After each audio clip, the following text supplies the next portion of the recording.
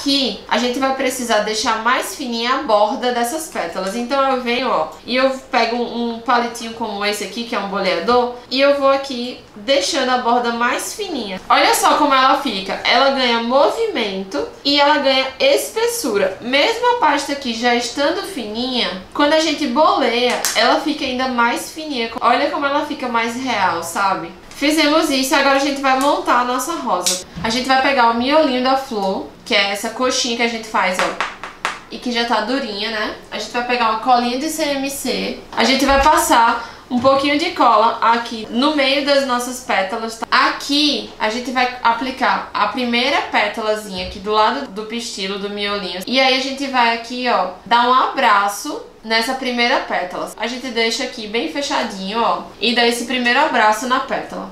Feito isso, gente, a gente vem, ó, e vai colocar aqui mais uma pétalazinha, ó, abraçando a rosinha. Essas três a gente vem aqui, ó, coloquei uma, por dentro eu boto a outra e por dentro aqui eu coloco essa outra. Eu venho fechando a minha rosa e vai colocar mais uma camada de pétala, tá? E eu vou aplicar agora as cinco pétalas de uma vez só nessa camada. Então eu preciso de espaço para aplicar as cinco, ó. Uma, duas, três, quatro, cinco.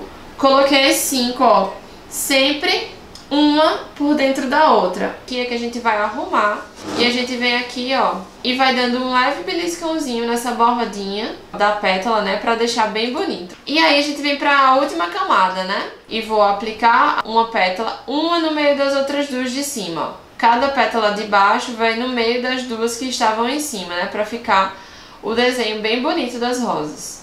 Então, gente, ó,